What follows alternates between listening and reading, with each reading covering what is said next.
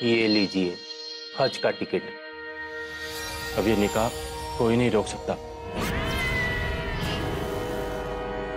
और और बेगम साहिबा वो मुई कब्बखत वाली सनम तो आहिल की अब तक वो भी अच्छे से नहीं बनी है। बीवी हाँ बीवी भी अच्छे से नहीं बनी है।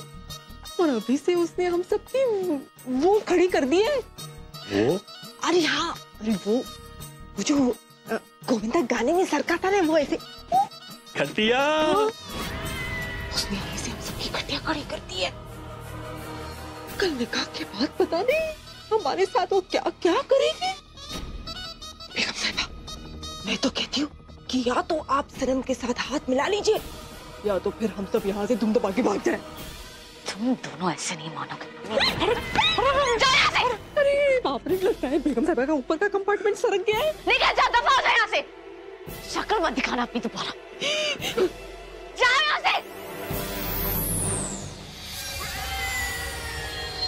पहली बार पहली बार हम अपने आप को इतना लाचार महसूस कर रहे आज तक जो सनम हमारे सामने भीगी बिल्ली बनी हुई थी, वो आज हमें अपने पंजे मार रही है। और क्यों ना मारे? आखिर है ना जोया की बेटी। ना माँ मरने का नाम ले रही थी, और ना ये सनम मरने का नाम ले और, और वो हमारा सौतेला बेटा जो हर वक्त हमारे लिए अपनी जान अपनी हथेली पे लेकर घूमता था आज सनम के लिए अपनी जान देने को तैयार। और ये कसाना और रजाक दोनों किसी काम के लिए बिल्कुल बेवकूफ़। और, और हमारा अपना खून हमारा अपना जिगर का टुकड़ा। हमारा अपना बेटा। वो भी हमारा साथ नहीं दे रहा। जब अपने अपना साथ छोड़ते तो और कौन हमारा साथ?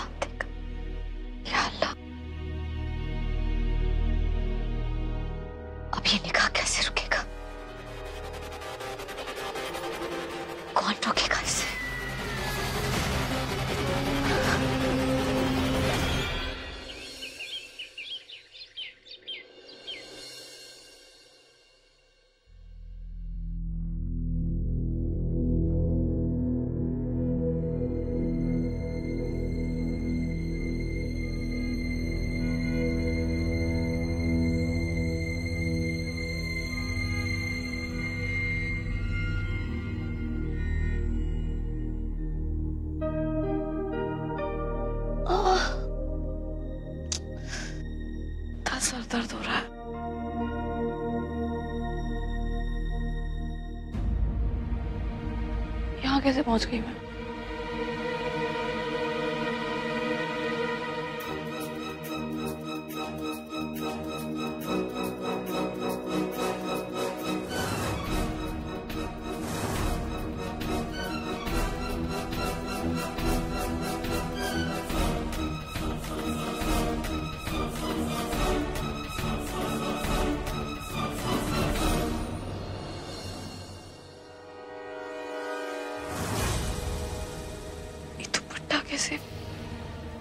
बिखरा हुआ है सब कुछ।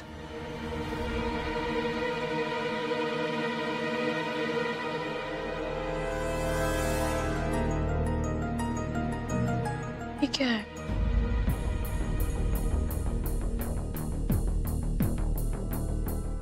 बारूद की इसमें सनम?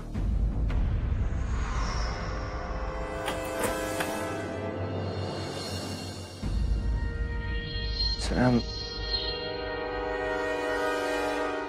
ये सब आई मुझे खुद कुछ समझ में नहीं आ रहा अब तबीयत कैसी है तुम्हारी मैं ठीक हूँ कल हो क्या गया था तुम्हें बहुत एम्बेरसमेंट हुई है हमारी I am so sorry Aahil मुझे कुछ याद ही नहीं आ रहा है शायद मैंने कुछ पिया और उसके बाद इनफैक्ट मुझे कुछ याद ही नहीं आ That's रहा okay. That's that's completely. मैंने और सर इतना It's it's okay. It's okay. Sit sit sit sit. sit. कोई बात नहीं. It's okay.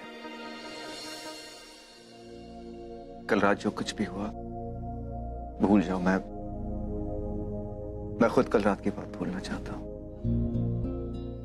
क्योंकि आज आज हमारी ज़िंदगी की एक नई शुरुआत है। और मैं नहीं चाहता कि हमारी ज़िंदगी की शुरुआत किसी भी किसी भी पुराने बुरे लम्हे से गुजरे। लेकिन सनम इन सबसे पहले मैं तुमसे एक सवाल पूछना चाहता हूँ।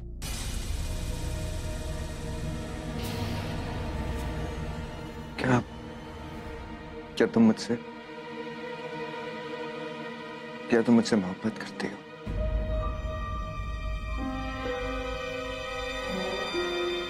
अमीन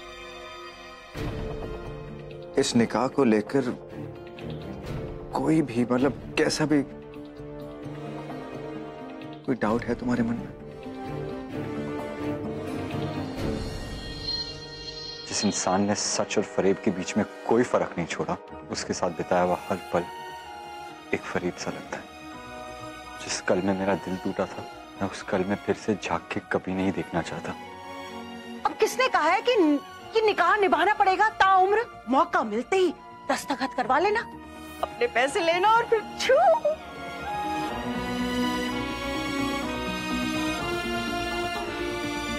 नहीं आए। इस निकाह को लेके मेरे मन में कोई डाउट नहीं है।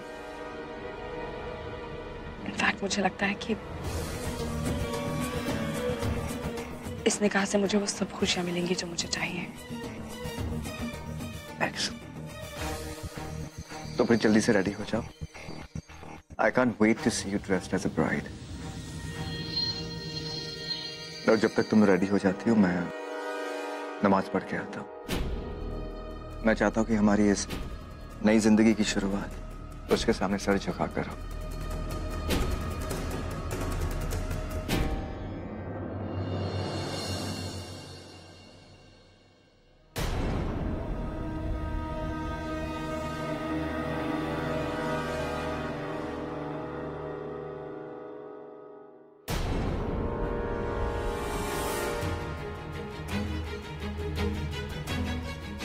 अगर मैंने रेहान को ये बता दिया कि सनम मुसीबत में है तो ये उसकी मदद ज़रूर करेगा।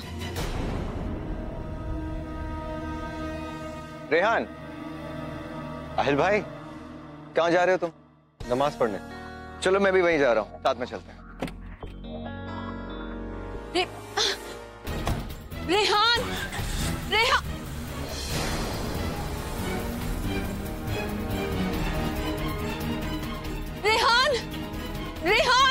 रे...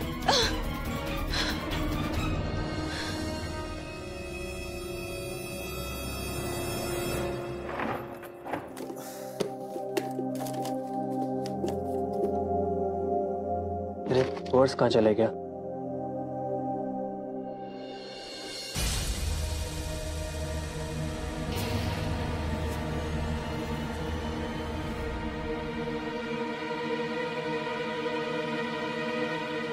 शुक्रिया। आपको शुक्रिया कहने की कोई ज़रूरत नहीं है।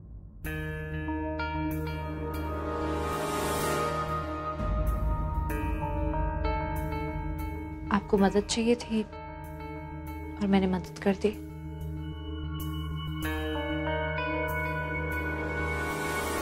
माना कि अब हमारे रिश्ते का हम दोनों के लिए अलग मतलब है। लेकिन तुम कल भी मेरी ज़िम्मेदारी थी। आज भी हो। और हमेशा रहोगे।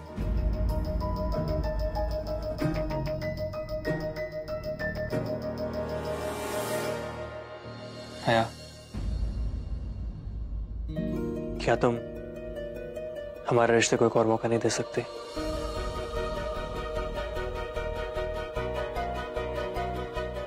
क्या उम्मीद की एक किरण बाकी नहीं है?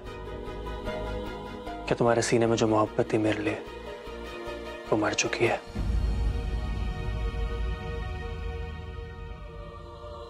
मोहब्बत मरी है नहीं, ये मैं नहीं जानती। लेकिन मैं एक बात ज़रूर जानती हूँ। ये मोहब्बत कहीं खो गई है।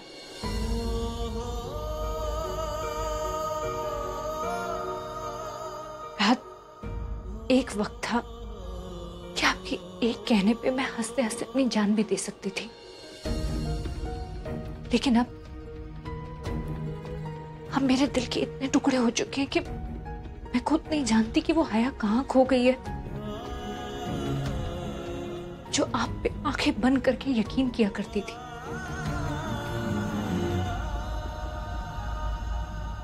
अब तो मुझे खुद की सोच पे भी यकीन नहीं रहा।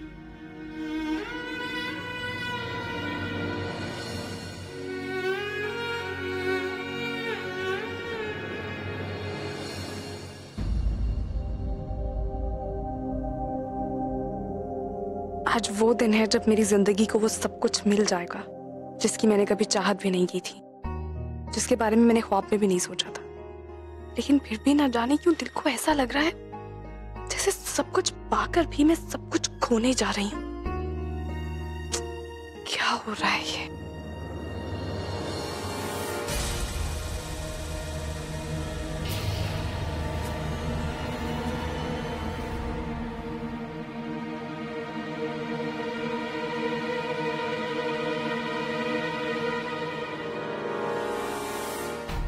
सहर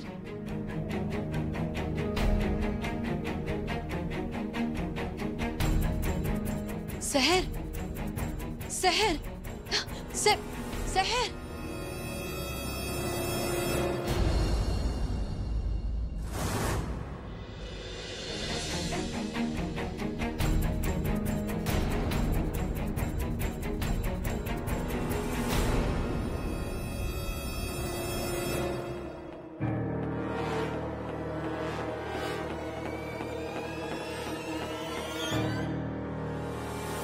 अरे अरे, कौन हो तुम जो मुँह उठा के घर में चली आ रही हो हाँ? एक मिनट। ये ये ना रजिया की कोई रिश्तेदार है? अरे, तुम, वो रजिया की बहन तो नहीं? अल्लाह, तुम चल सकती हो? अच्छा। तो इतने दिन तुम हम सबको बेवकूफ़ बना रही थी हाँ? चोर चोर मौसेरे भाई तो सुना था। पर कामचोर कामचोर बहने आज देख भी लिया। पता है तुम दोनों का सारा हिस्से का काम मुझे अकेले को करना पड़ रहा था। अल्लाह मेरी तो कमर में मोच आ गई इन दोनों बहनों की वजह से। अब खड़ी खड़ी मेरा मुँह क्या देख रही हो? पकड़ो ये झाड़ू और घर की साफ़ सफ़ाई करो। वरना बेगम साहिबा को कह के घर से धक्के मार के बाहर निकलवा दूँगी। पकड़ो। नहीं नहीं आप आप बेगम साहिबा से कुछ मत कहिएगा। आप आप जैसा बोलेंगे मैं सब करूँगी। अल्लाह तो तुम बोल भी सकती हो। काम पे ध्यान दो।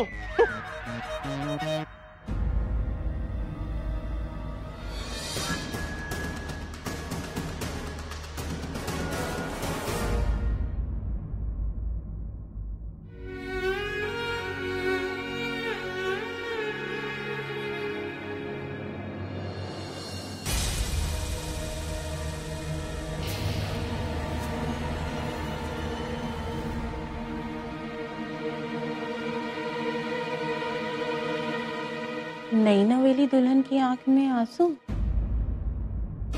हमने सोचा नई बहू को चलकर दुआएँ दे दे। लेकिन यहाँ तो कुछ और ही चल रहा है। क्या हुआ? राहत से लड़ाई हुई क्या? अरे नहीं नहीं आप लोग जैसा सोच रहे हैं ऐसा कुछ भी नहीं है। अरे हया तुम झूठ क्यों बोल रही हो?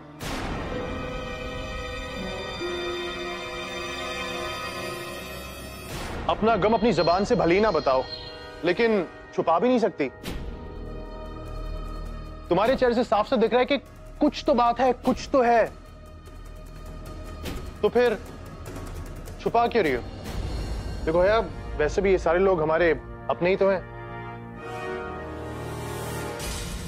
हाँ बेटा, डरने की कोई ज़रूरत नहीं है।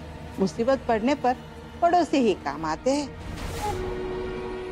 कहीं राहत ने तो कुछ ऐसा वैसा नहीं किया।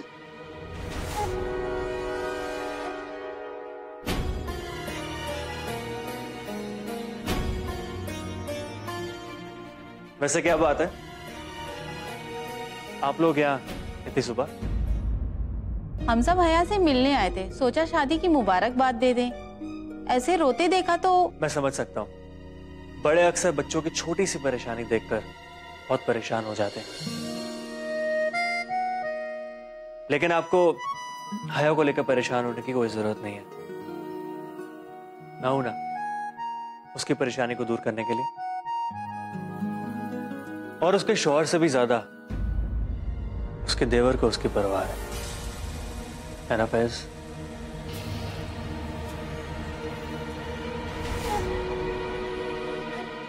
अरे आप लोग अंदर आइए ना। हम लोग अंदर बातें करते हैं।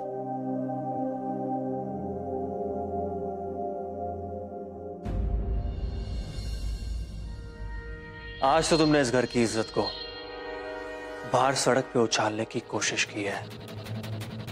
दोबारा अगर ऐसा हुआ तो मैं बर्दाश्त नहीं करूँगा।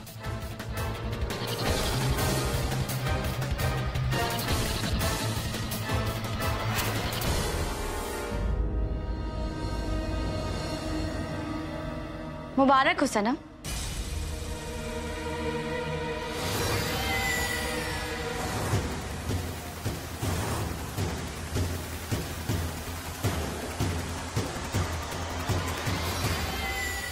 वैसे मानना पड़ेगा। बहुत सख्त जान हो। कल भी बच गई। वरना तुम आज निकाह का जोड़ा नहीं, मौत का कफन पहनती।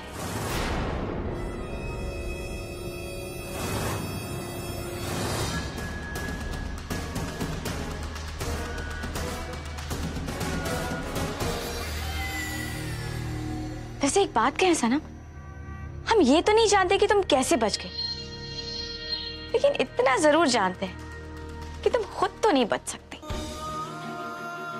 कोई तो है जिसने तुम्हारी जान बचाई।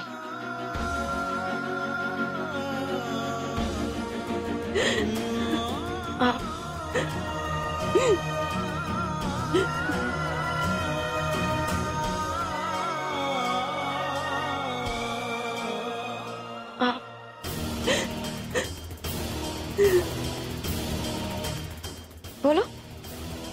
कोई है ना जो तुम्हारी मदद कर रहा है? हम्म?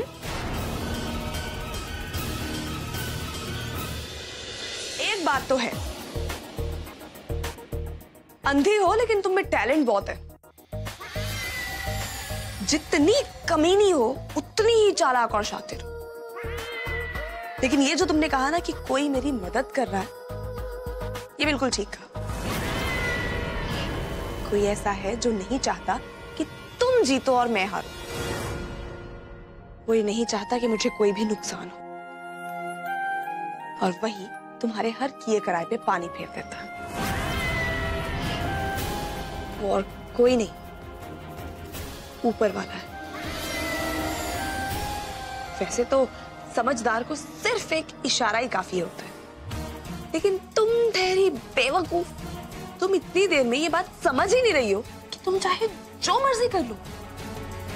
मेरा कुछ नहीं बिगाड़ पाओगे। ये जो किस्मत है ना, जो तुम पर इतनी ज़्यादा मेहरबान है सनम, इससे हमारा बहुत पुराना याराना है। ये हमेशा हमें एहसास कराती है कि ये हमसे सब कुछ छीन लेगी। लेकिन जब देखती है ना कि हम हार मानने ही वाले नहीं है तो एक मौका और दे देती है। बस, उस आखिरी मौके में हम ऐसी चाल चलते हैं, ऐसी चाल चलते हैं कि पूरी की पूरी बाजी पलट जाती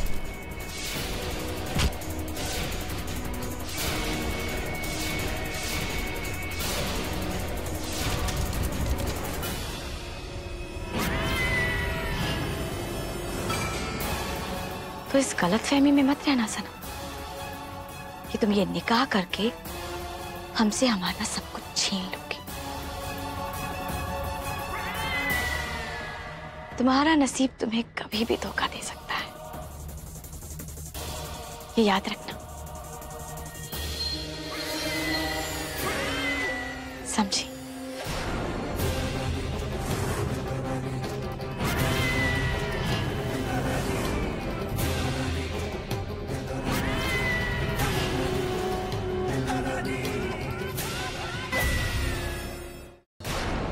सुनहरी को कोई भी धोखा दे दे। लेकिन उसका नसीब उसे कभी धोखा नहीं दे सकता। बस एक बार ये निकाह हो जाए। उसके बाद मैं तुम्हारी पहुँच से बहुत दूर निकल जाऊँगी। तुम्हें पता भी नहीं चलेगा। और तुम अंधी कटोरा लेकर रास्ते पे आ जाओगी। Thank you papa.